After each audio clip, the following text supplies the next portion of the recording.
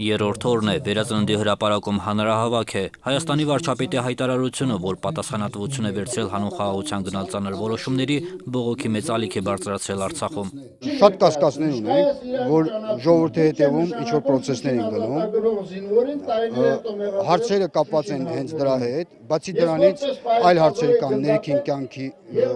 փոփոխվելու կապակցությամբ կամ պահանջներ դրված։ Հավաստիացումներին, թե Արցախի կարգավիճակի հարցով ոչ մի փաստաթուղթ չի քննարկում, թերահավատորեն է վերաբերում Արցախահայությունը։ Հայաստանյան գործընկերների հետ հանդիպումից հետո ժողովուրդը պաշտոնյաներից ակնկալում է հրապարակային ու པարզ պատասխաններ Արցախի ապագայի վերաբերյալ։ Մենք կարանք մեր ապագան որոշենք, բայց ժողովրդի միասնության ուժով։ Մենք չենք ուզում էլ մեզ խափեն, մենք չենք ուզում հավատանք այլ խոսքեր, նենց կրթված մտքերով, մենք ուզում ենք քայլեր, այդ քայլերն էլ մենք կատարելու ենք ժողովրդական միասնության ուժով։ Ասում են, եթե կան արտաքին ճնշումներ, ժողովուրդը պատրաստական է իշխանության հետ պայքարել այդ ճնշումների դեմ, բայց չեն ների կուլիսային պայմանավորվածություններն Արցախի ճակատագրի վերաբերյալ։ Խնդիրը հետեւյալն է, անկախ ամեն ինչից բոլոր ամբիցիաները մի կողմ ենք դնում, միավորվում ենք մեր ազգային փրկության, մեր երեխաների ապագայի փրկության եւ մեր հերոս հայրենիների շիրիմների փրկության համար։ Այսօր խնդիր ունենք նախ եւ առաջ միաբանվելու, միավորվելու։ Եթե միաբանվենք ամբողջ հայությամբ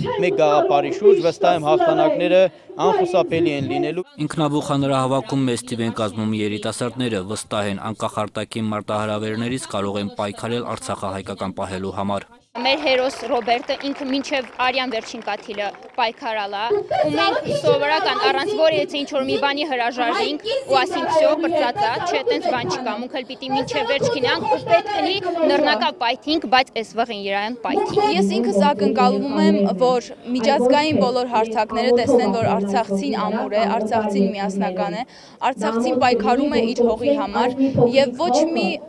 ինչպես ասեմ, եւ ոչ մի մարդ, ոչ մեկը չի կարող ընդհանրապես ընդամենը գրիչի ծայրով ստորագրել եւ Արցախը բաժանել Արցախցուց։ Առաջին իսկ օրվանից ինքնաբուխ հավաքից սկսած մասնակցում եմ եւ շարունակեմ միջև վերջ մասնակցել, մինչև չհասնենք մեր միակ նպատակին։ Մեր նպատակը այն է ամբողջ աշխարհին հասկացնենք, որ Արցախը մերն է եւ մերն է լինելու։ Նախաձեռնող խմբի անդամներն արդեն օրակարգ ունեն ձևավորած, նախ արտաքին քաղաքականության հարցերն են, որոնցից հետո ներքին խնդիրները։ Դրանց պատասխաններն ակնկալում են ստանալ Արցախի նախագահից հրապարակում, իսկ լուծումները գտնել միասին համախմբված։ Գենադի Երեմյան, Արտավազ Գրիգորյան, Էպիկենտրոն, Արցախ։